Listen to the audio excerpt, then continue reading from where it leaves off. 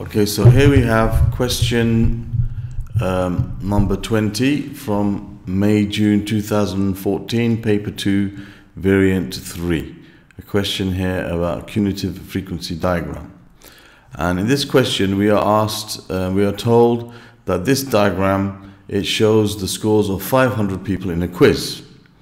Okay, and this is a cumulative frequency. Okay, so on the x-axis is represented the score, on the y-axis is represented what's called the cumulative frequency. So basically, the cumulative frequency means the number of people that achieved that score or less than that score. So for example, this would be the number of people that scored 10 or less. Okay, so the number of people who scored 10 or less would be just about that many, which is something like just over 10, because you've got 10, each of these ones are 10, 10, 20, 30, 40, 50, 60, 70, and so on. Okay, so that's what a cumulative frequency table basically tells us. Okay, now, and the first question says, use the diagram to find the median score. Okay, the median score. Now, the median score is the middle score, the score that's in the middle when every, all of the scores are arranged in order of size. Okay, so here we're basically going to, it's really an estimate of the median. So we're going to see that there were 500 um, scores altogether. Okay, the, the, the scores of 500 people are recorded. And so the median score is going to be the one that's right in the middle of that. Okay, and they are in order of size once you put them in a frequency table. Okay, in a cumulative frequency curve. Okay, so what we're going to do here is I'm going to make a thin line and I'm going to show you so that you know exactly. Change the color so you can see what's happening.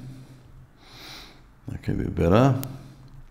Okay so there's 500 okay people. So right in the middle of 500 is 250 now 250 is about here. So if I make a line from 250 all the way along until it hits the curve and then from the point where it hits the curve, okay, which is about here, all the way down, straight down, you get, okay, the median score. The median score is the middle score when they're arranged in order of size, okay?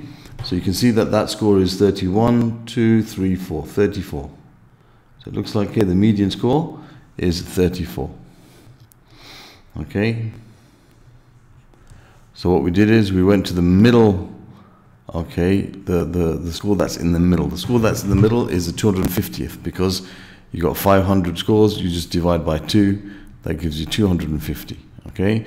So we went to 250 and we saw what score that represents, which is the 250th score is 34, okay? Then it says the interquartile range. Now the interquartile range the interquartile range is basically what's called the upper quartile minus the lower quartile.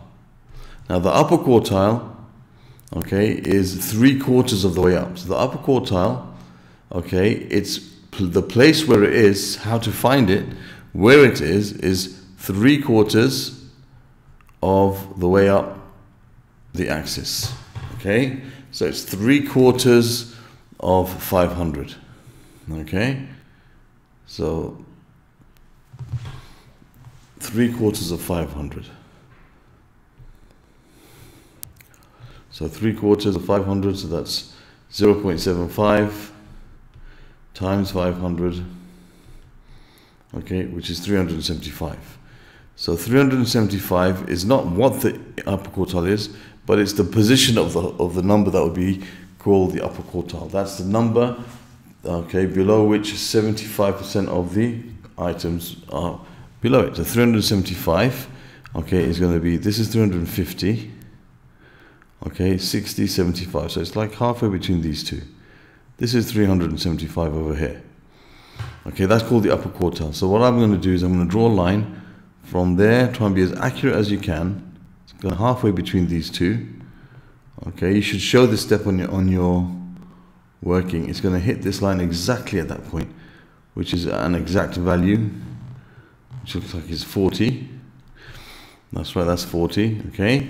So the upper quartile looks like it's 40. So the upper quartile is 40. So I'll just put therefore 40.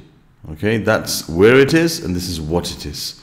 The mark which represents the upper quartile is 40. So the interquartile range is 40 minus, now you've got to find the lower quartile. Now the lower quartile, as you can imagine, is a quarter of the way up. If the upper quartile is three quarters of the way up, the lower quartile is a quarter of the way up. So the lower quartile, to find out where it is, you do a quarter times 500. Okay, a quarter times 500, which is 0.25 times 500, which gives us 125. So we go to 125, that's 150, that's 110, 25. So again, it's like halfway between 120 and 125, so it's 130, so it's going to be right here, somewhere like that. Okay, and it gives you a value which it looks like it's along this line. What's that value it gives you? It gives you the value which is, should be slightly more this way.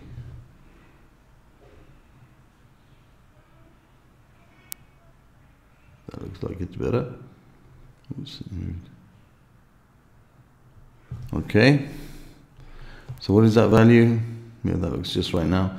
That's 21, 2, 3, 4. 24. Okay. So the therefore it's 24. This was 125. Therefore the low quartile is 24.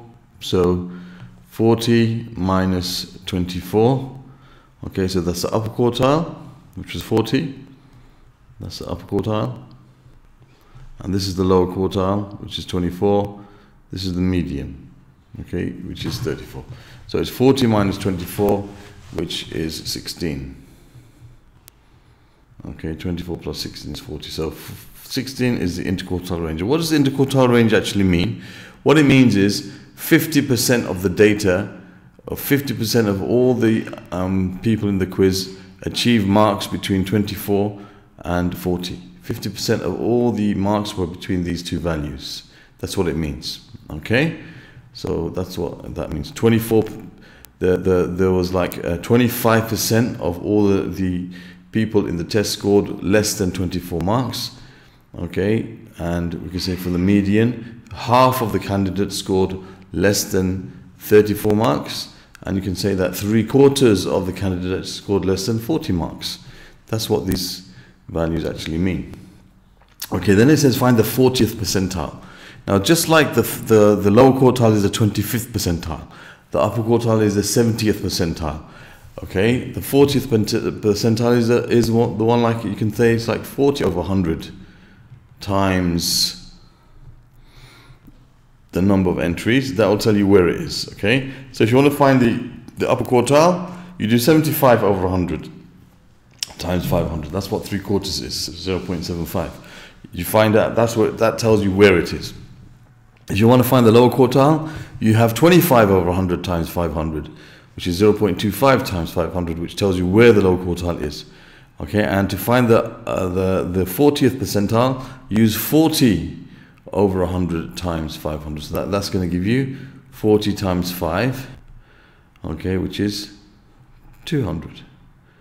Okay, so you've got to go to the the 200th place, okay, which is here, and find out what the value is. Okay, this tells you where the, the 40th percentile is, and this number here tells you what the 40th percentile is. So you can see it's 30. Okay, it's 30. Okay, so that's the 40th percentile is equal to 30. Okay, then it says the number of people who scored 30 or less but more than 20. Okay, so they scored 30 or less but more than 20. So the number that scored 30 or less, okay, was 200.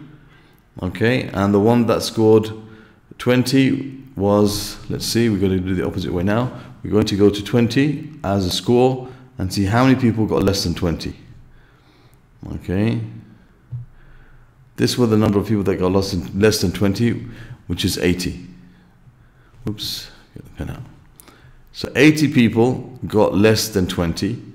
Okay, and and um, 200 people got less than 30. So the ones that got between 20 and 30 are 200 minus 80, this number. Okay, this is the number of people that got between 20 and 30.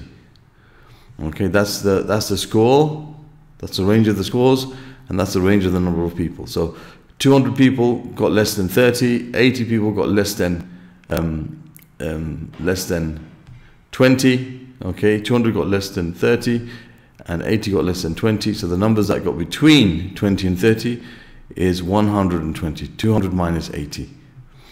Okay, so the answer for that is 200. Whoops. 200 minus 80, which gives you 120. And we've completed that question. Okay, so that's all about cumulative frequency curves. Okay, that question is now done. Okay.